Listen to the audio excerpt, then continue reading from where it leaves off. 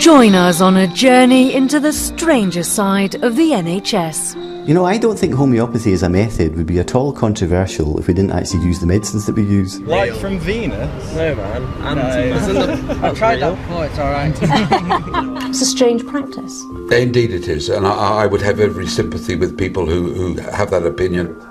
Homeopathy, an alternative therapy, is controversial and frankly a little odd. Tonight we reveal how it's penetrated the heart of the Scottish NHS and ask is it dangerous? Do you think that giving those three remedies are as safe and offer the same protection as the MMR vaccine?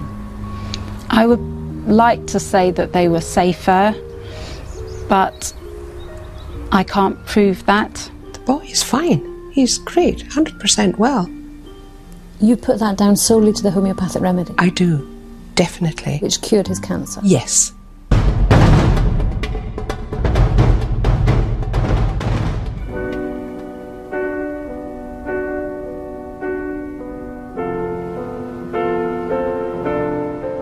Water, an elemental force. But can remedies which conventional medicine says is nothing more than water be used to treat serious illness?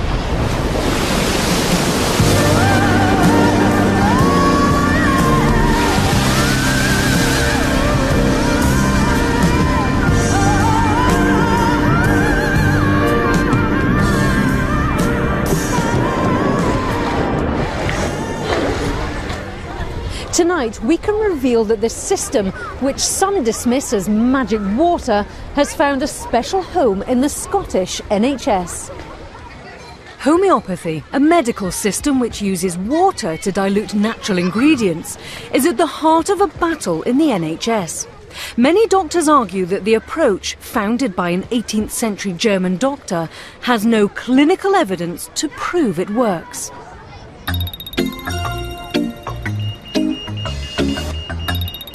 Across Scotland, NHS money is being spent on therapies which most of us don't understand and might find very strange.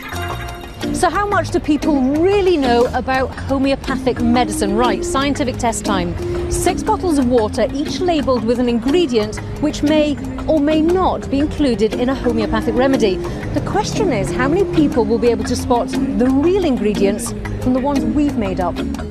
So, our ingredients are hyena saliva, fairy tears, donkey whiskers, light from Venus, bee fur, and antimatter. Saying donkey whiskers is real because it sounds like something that would just throw us off, Sounds so like it's a bit got to of be an real. old-fashioned thing, like an old-fashioned medicine. Yeah, yeah. It might have stuck around. That one? Fairy, fairy tears? You think fairy tears is yeah, real? fairy tears one. Okay. This Be Like from Venus? No, man. Anti. I've tried that before, it's alright. Could you get a tan from the light from Venus? So bee fur's real? Yeah. No, it's not. Yes, it is. Quiet. Donkey whiskers? No. No. Okay. No, beef is real. Oh, oh fur from a bee. Real. Oh, I think ah. antimatters is what another Yes, one. the antimatters, yeah. Well, here's the answers. Hyena saliva, antimatter, and light from Venus are real homeopathic ingredients, and the others, well, they're fake. How did you do? So, our test was just a bit of fun, but what it shows is the general public don't really understand homeopathy, but we're all still paying for it. Thank you very much. Thanks, Ian. Thanks very much.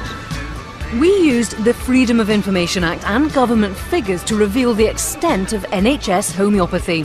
We discovered that last year in Scotland, 30,000 NHS prescriptions for homeopathic medicines were written, largely by GPs.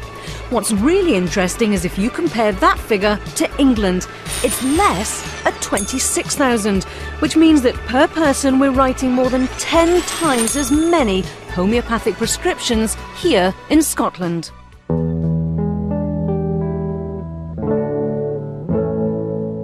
With little public understanding of the medicines, yet thousands of prescriptions being written, I wanted to find out more about them. Stephen, welcome. I came to see the founder of Freeman's, Scotland's biggest homeopathic pharmacy. Dr. Stephen Kayne manufactures the medicines, or remedies as they're called, according to a method devised by homeopathy's founder, Samuel Hahnemann, over 200 years ago. What are you going to make for us today? Okay, well, first of all, we start off with the mother tincture, which is the strongest form of a homeopathic medicine. This particular one is called Crataegus, it's the hawthorn, and it's used for cardiac problems. And the second stage uh, is what's known as potentization. It's called potentization because although it dilutes the medicine chemically, it actually enhances it therapeutically, which is a very strange concept altogether. Dr. Kayne takes one drop of the mother tincture and mixes it with 99 drops of water. And then we take that first bottle out and we succuss is the name of the process that we use.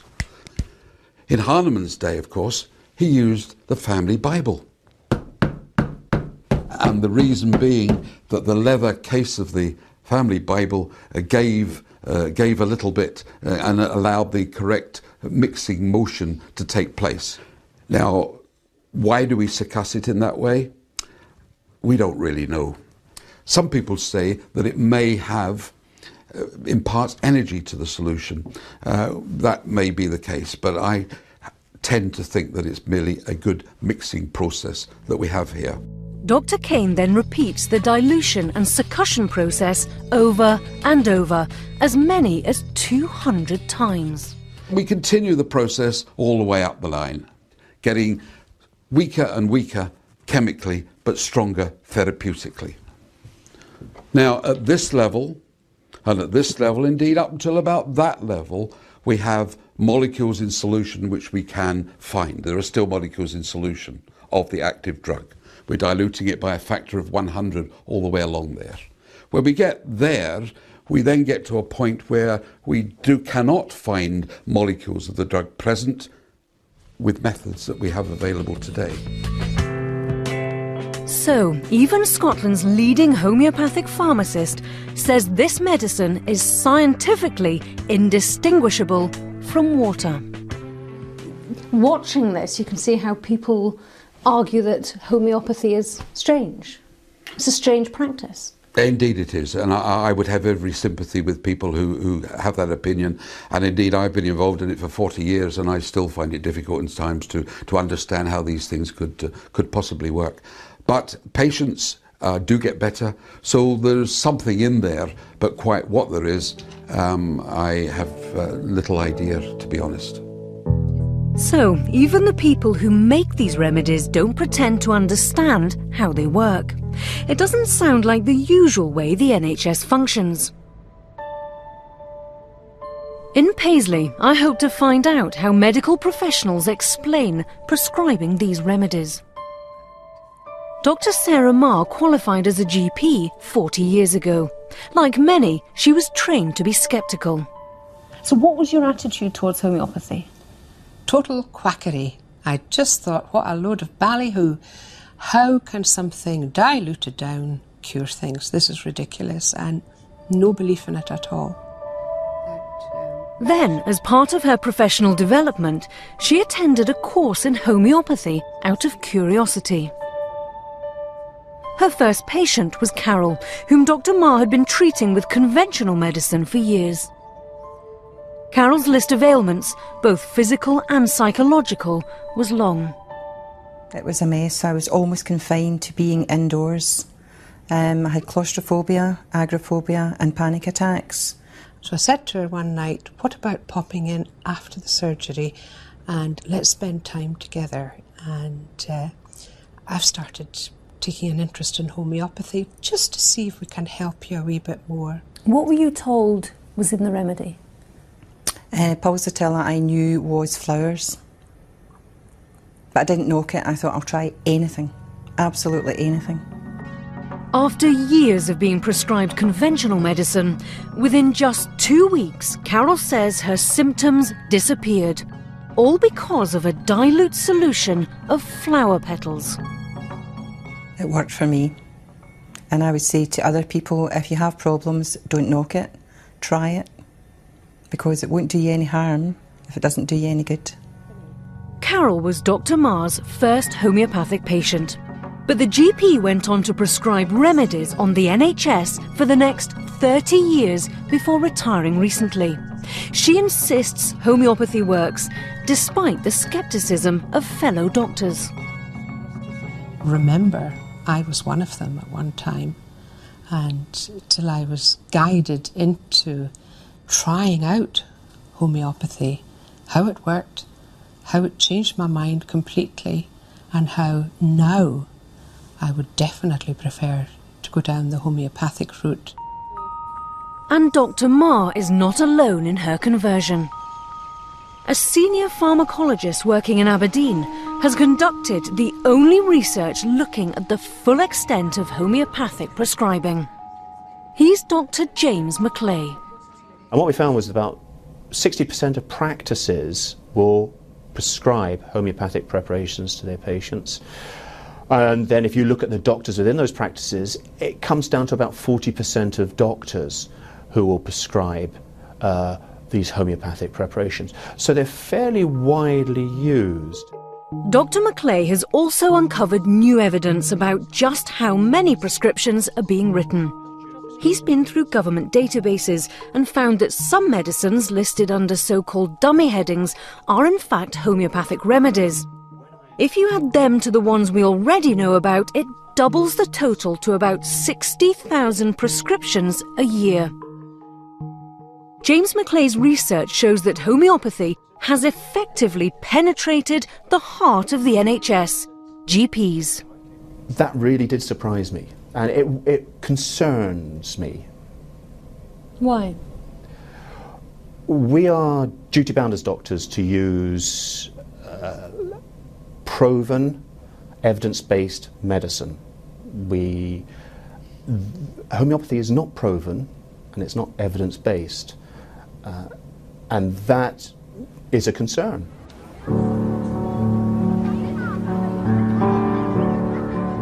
That view has been gaining momentum. The British Medical Association recently formally came out against NHS homeopathy. But homeopaths claim their patients are getting better, and the Scottish NHS has thrown itself into supporting the practice. It's a leap of faith.